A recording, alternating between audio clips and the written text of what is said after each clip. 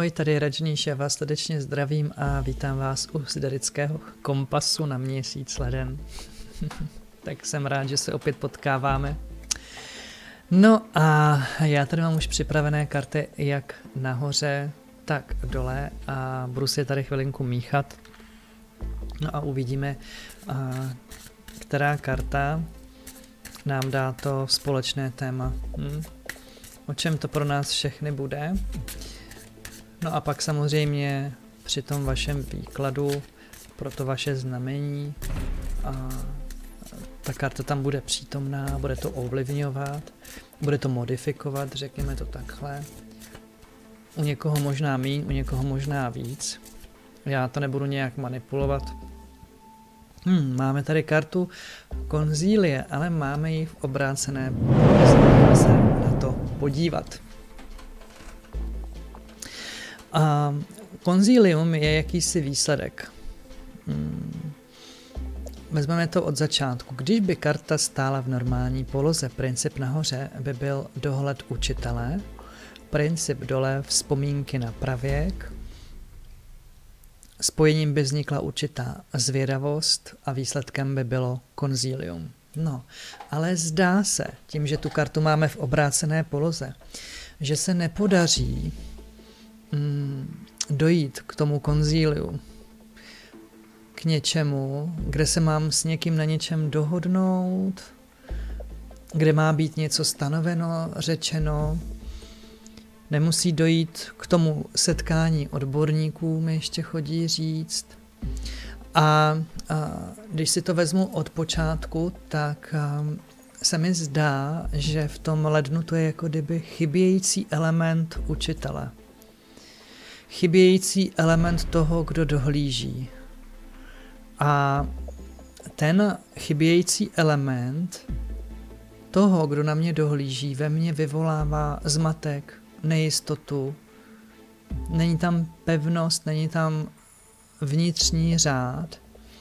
A chodí mi, že třeba, a to nemusí být ještě spojený s tím, že chodíte do školy nebo do práce, kde máte nějakého supervizora, to může být čistě nějaké vnitřní nastavení, jo, kdy celou dobu tam vedle vás někdo stál.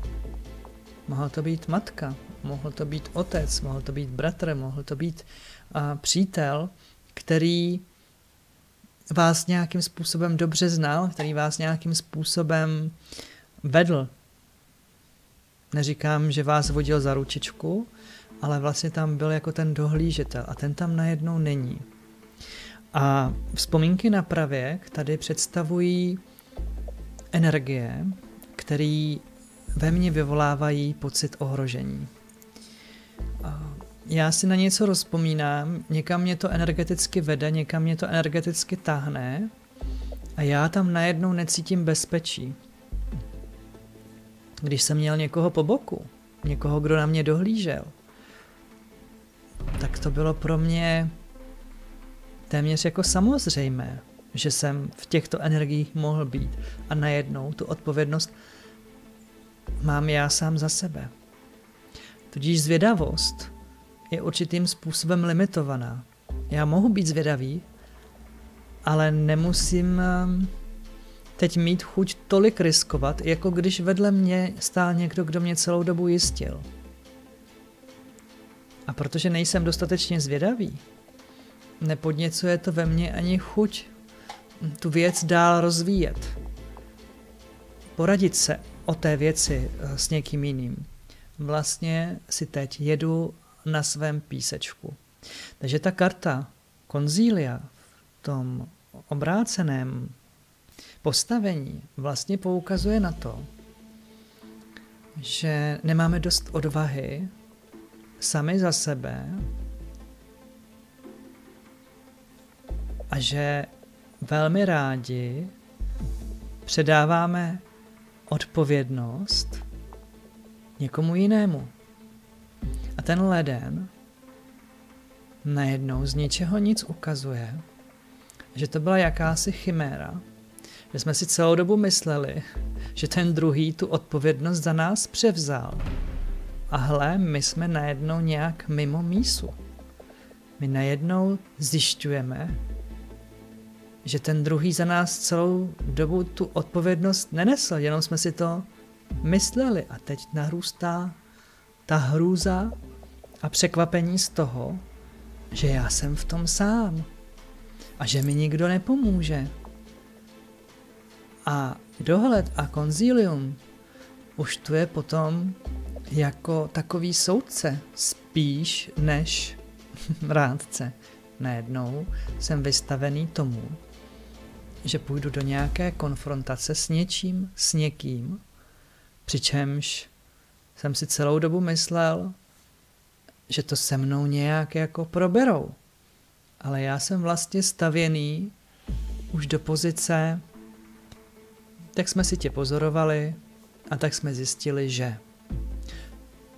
Teď to ještě neříká, jak to dopadne. To se nám možná ukáže v těch eh, dalších kartách, které tu budeme rozkládat. Já ty karty nebudu nějak tlačit, buď se k tomuhle z tomu tématu vyjádří, anebo ho minou úplně obloukem. A mám jenom takový dojem, že na druhé straně teď sedí někdo. Někdo, kdo celou dobu skutečně spolíhal na to, že mu někdo dává ochranu a, a řešil na to, protože tam s tím kalkuloval. No a teď se bude muset postavit sám za sebe, převzít si za a, a všechno tu odpovědnost. A ještě mi chodí, možná mu už nikdo nevěří, že neví jak. A bude tu takové zjištění, Ježíši, Ježíši, já už jsem duchovně dospěl, já už mám i duchovní odpovědnost za to všechno. Hm. Takže z tohoto pohledu pro takové ty zaryté materialisty to bude docela šokující měsíc, jak se to bude vyvíjet. Pro ty, kteří jdou duchovní cestou, to bude takové uvědomění, tak jsem se tady přešlapoval dlouho na tom svém malém písečku a zjišťuju, že budu muset teda nějak jako jinak. Je to takové, takové trošku trapno, jakože ješiši, ješiši, to jsem si myslel, že to mám teda nějak líp. Což je ale zase na druhou stranu lepší, než to mají ty materialisti. No a pak a, co ty ostatní? Co necítí, že by byli ani tam, ani tam? A možná, že přirozeně si uvědomují a uvědomovali si to celou dobu, protože samozřejmě i nějací odpovědní jsou, že jo? to není, že by byli všichni neodpovědní. A, tak a, tam mohlo být to uvědomění mm, a sakra, a ten učitel mi prostě chybí a já budu muset do toho všeho nějak víc jako šlápnout. Budu muset se víc postavit sám za sebe, budu potřebovat být přeci jenom víc odvážnější. Jo. Možná, že u někoho tomuhle uvědomění už došlo koncem prosince. No a v tom lednu to uh, dosedne na to správné místo. Jo, no tak je to tak, jak jsem si myslel. Hm, no je to teda síla, no ale budu muset jít teď takhle dál.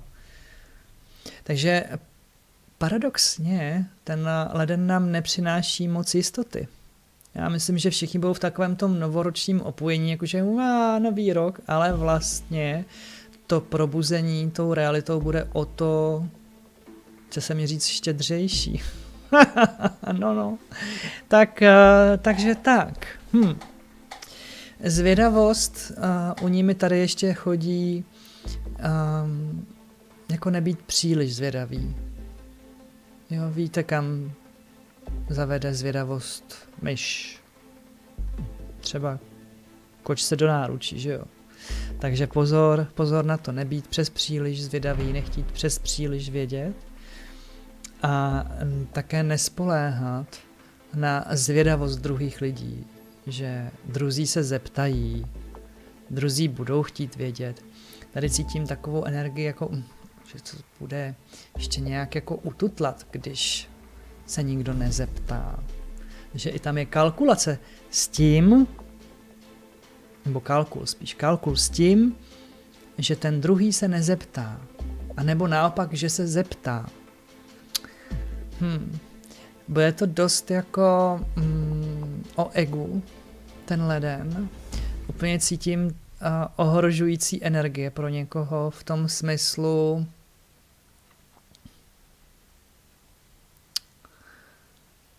a že se bude třást ten základ, jako všechno kolem první čakry.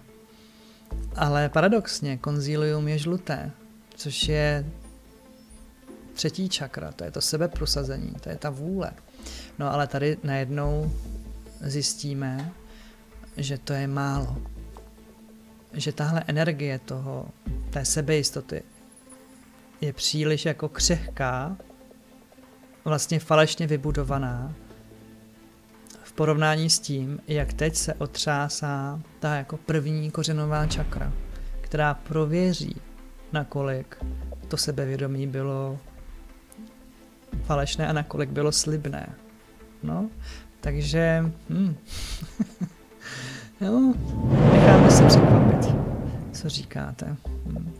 Pokud byste někdo potřeboval, jsem pro vás k dispozici. Lze si objednat RP pohotovost nebo e-mailovou konzultaci, nebo mě můžete navštívit v Desné v Jezerských horách, kde poskytuju osobní konzultace. Pak jsou tu ještě videovýklady a můžete zvolit nějaký pěkný dálkový proces nebo roční školu nebo dálkovou péči, dálkové zasvěcení, cokoliv, co vám přijde, tak se neváhejte na mě obrátit. Tak a teď pojďme na ten výklad.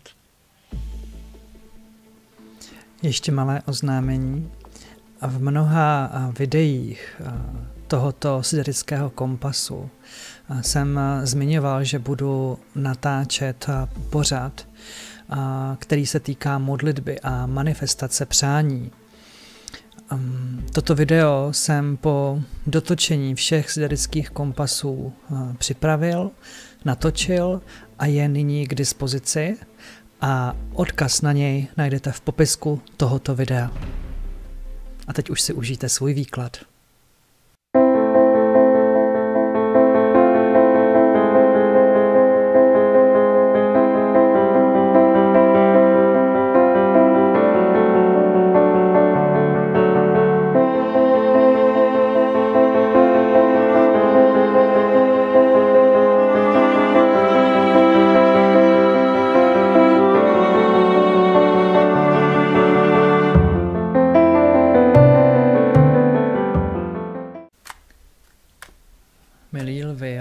Srdečně zdravím a vítám vás u vašeho siderického kompasu. A abych pravdu řekl, tři znamení na zpátek jsem si v duchu připustil obavu z toho, že vám budu číst dneska karty. Takže já nevím, co se tam zobrazí, ale věřte, že jsem se toho sám trošku jako dopředu bál.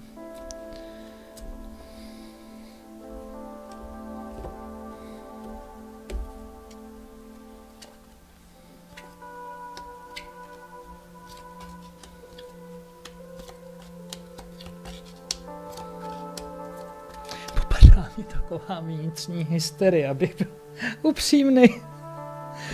No, i když to vůbec tak nevypadá, jo, ale pocit je absolutní hysterie mám. Že vám mám vykládat karty. Tak, no, s čím vykračujete do nového roku? Jako, vy máte dost předsevzetí a dost jste toho napovídali, jako co všechno budete a jak to budete. A, a pravda je, že máte k dispozici nástroje, s kterými byste mohli ty věci jako uskutečnit. Takže otázka je, zda je to pravda, to, co jste řekli. Zda si budete stát za svým slovem. Jestli to nebudou jenom duchovní výhovorky. Nevím, proč po velmi dlouhé době, po velmi, velmi dlouhé době pozornost žádá pan Rolíček na vrcholu toho žezla.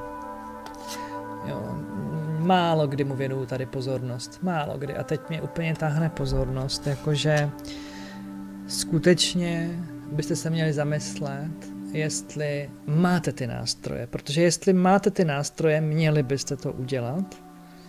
A pokud je nemáte, neměli byste nic slibovat s tím, že si něco pořídíte, něco koupíte, nekoupíte, nepořídíte, nebo to nevíde prostě.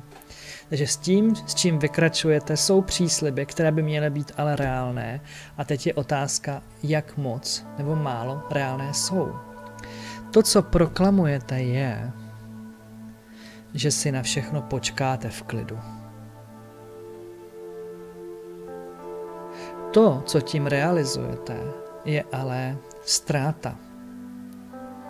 Vy proklamujete, že si počkáte na správnou chvíli, zatímco už dávno víte, že ta správná chvíle byla, všichni za ní vyrazili a vy jste zůstali stát na místě.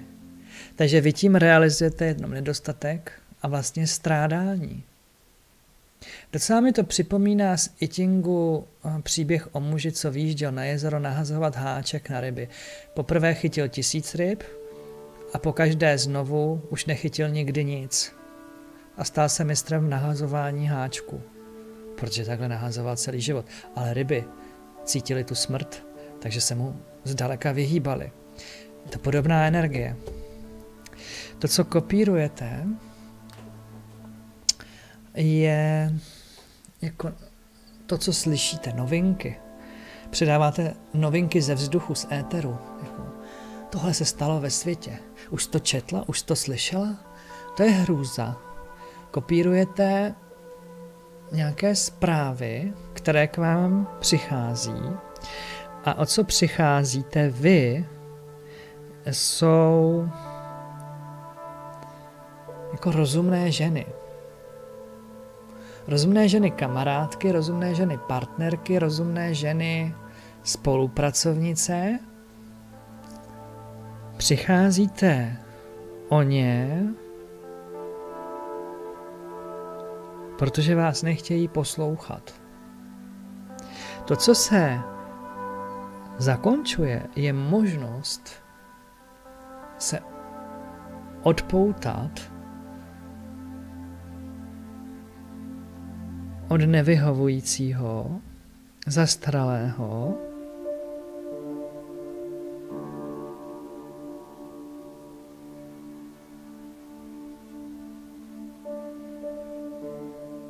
Já teď tady jenom čekám, jestli mi něco přijde, jo.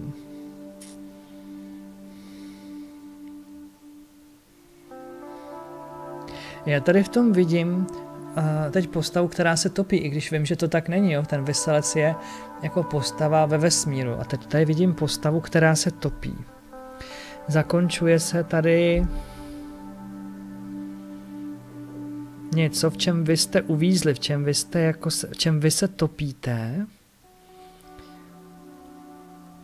Právě protože proklamujete, že čekáte na správný čas.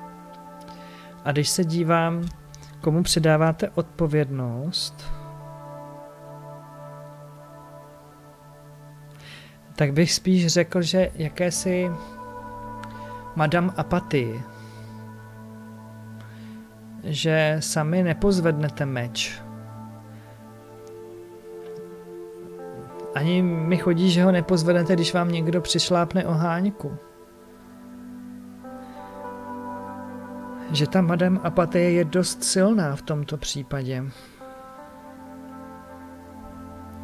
A to, co o vás druzí zjistí, je, jak nedokážete odhadnout vnější podmínky. Jak nedokážete počítat s nepředvídatelným. Jak nedokážete jednat s lidmi nebo s většími skupinami lidí. A druzí o vás zjistí, jak jste snadno porazitelní. A když se ptám, co máte dělat, tak mi chodí zhasnout. Jako doslova a do písmene zhasnout. Je tady luna a musím říct, že Luna mi tady asociuje, a stejně to řeknu jako i v jiných videích z Derského kompasu, mi asociuje manifestaci přání. A když přemýšlím, že vy tu máte to zhasnutí, jestli já já totiž plánuju připravit takové video jo, pro manifestaci nějakého přání. A když vy zhasnete, tak mi chodí, i toto se dá dělat pod mě, protože sám vlastně to praktikuju pod mě. Takže sledujte můj YouTube kanál, až se tam objeví manifestační video. Já nevím, jak se bude ještě jmenovat, to mi ještě nepřišlo. Konec konců mám to jenom v záměru, nemám to jako připravený. Možná, že někdo z vás četl poslední čtvrteční dopis minulého roku, takže, nebo roku 2019, takže ví, o co se jedná. To, že možná mají lvy zhasnout, aby ve tmě mohli začít tvořit. Jo, a zřejmě od píky, ne něco mm, plá, plá, plá, plá naplácat, ale skutečně si věci jako procítit a začít manifestovat, abych se vytrhl z té apatie, abych se zachránil sám, abych eh, nebyl závislý na novinkách ze světa, abych příležitosti tvořil a ne na něj čekal. Podíváme se, jakou vám dodávají duchovní zbraň. Tedy duchovní zbraň ve smyslu vnitřního duchovního světa, ne vnějšího. No jistě. no je potřebujete eh, vyčistit hlavu, je to nějaký vnitřní boj, ale je, pardon, to jsem tady bouchnu do mikrofonu, snad vám to neurvalo uši. A tyhle se soustružný, eh, soustřední kružnice a mě, mi připomínají právě kruhy, kružnice z té meditace, z toho videa. A, takže to by mohl být nástroj pro vás. A, tohle to mi ještě chodí jako brainstorming, jako vyloženě udělat si brainstorming na svoji situaci. Ještě jako možnost. Když se podíváme na zlatý kartopát, co vám k tomu řekne. Roztáhni perutě, ukaž svou krásu, nechej zářit své charisma, žij své kouzlo, jednou objedeš svět. Teď to však není. Hmm. No a tohle můžete udělat, až když uděláte tu nápravu. Jako uh, nechej zářit své charisma, až zhasnu. jako nejdřív potřebu, a víte, co mi chodí, vypnout všechny vlastně obvody, nechat jako restart, restart.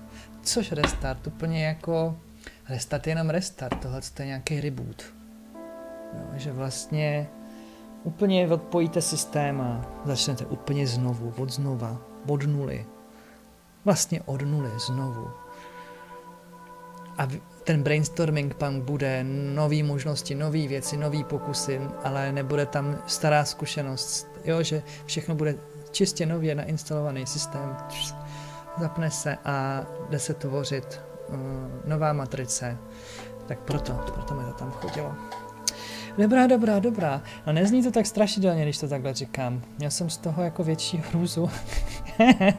tak pro mě, pro mě, nebo za mě, dobrý. Hmm, ale chápu, že pokud jste v takové situaci, že to není tak jako hmm, optimistický, ale na druhou stranu řešení to má. No ne? No já se budu těšit příště. Papa. Pa.